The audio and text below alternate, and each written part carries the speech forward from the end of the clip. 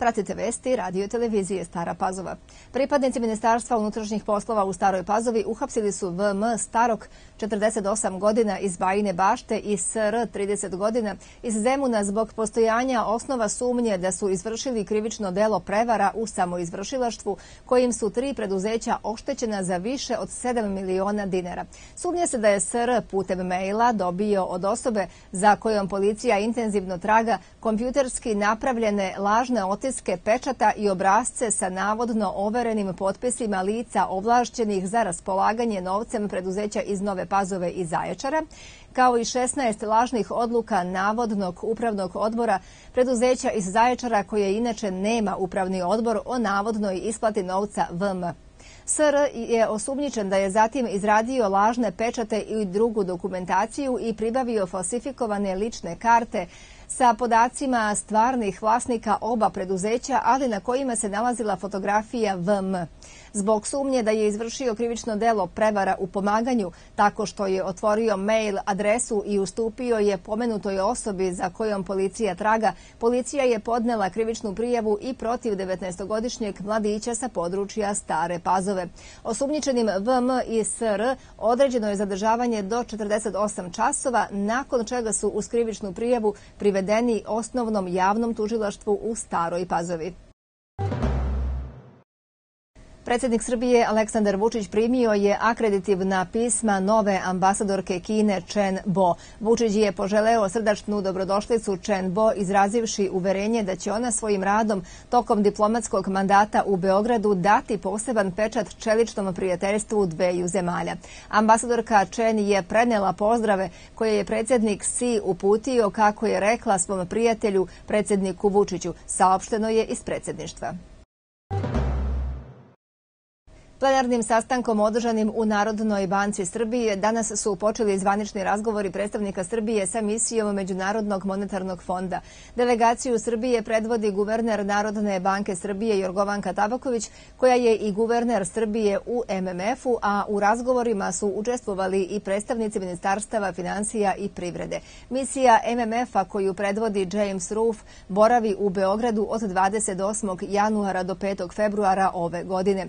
Tokom posete misije biće razmatrano sprovođenje programa makroekonomskih i strukturnih reformi koji je podržan instrumentom za koordinaciju politika, saopšteno je iz Narodne banke. Usklađivanje cena akciza sa cenama na malo koje stupa na snagu u petak uveće će ove takse na naftne derivate, kafu i alkoholna pića dok akcize na cigarete nisu skočile. Međutim, bit će povećana i cena cigara i cigarilusa kao i tečnosti za punjenje elektronskih cigareta. Povećanje akciza ne znači automatski da će cene ovih proizvoda poskupeti, a da li će doći do nove cene benzina na pumpama, kafe, na rafovima marketa ili cigareta i alkoholnih pića u narednom periodu, Odluka je na proizvođačima i trgovcima. Generalni sekretar Udruženja naftnih kompanija Srbije Tomislav Mićović kaže da je došlo do rasta cena akciza od 0,86 dinara po kilogramu TNG, autogas, zatim 1,10 dinara po litru bezolovnog benzina, biogoriva i biotečnosti pa do 1,32 dinara za pojedine derivate nafte. Ministarstvo odbrane Republike Srbije poziva sva lica muškog pola rođena 2001. godine i starijih godišta od 1989. do 2000. koja nisu uvedena u vojnu evidenciju da se jave radi izvršenja zakonom propisane obaveze uvođenja u vojnu evidenciju koja će se vršiti u periodu od 14.1. do 28. februara 2019. godine od 9 do 15 časova u kancelarijama Ministarstva odbrane na teritoriji opštine mesta pre prebivališta. Sa sobom treba poneti ličnu kartu ili na uvid drugu javnu ispravu iz koje se može utvrditi identitet, poručuju iz Ministarstva odbrane.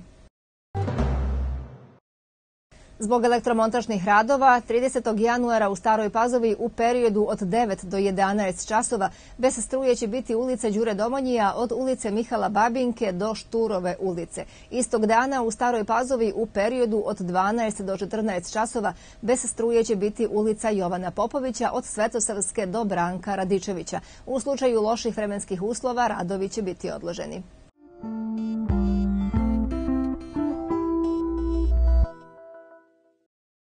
Sutra umereno oblačno i uglavnom suvo, samo još ponegde na jugu i istoku Srbije uz više oblačnosti sa slabom kišom i snegom. Vetar slab i umeren jugoistočni. Najniža temperatura od minus 3 do 0, najviša dnevna od 2 do 6 stepeni.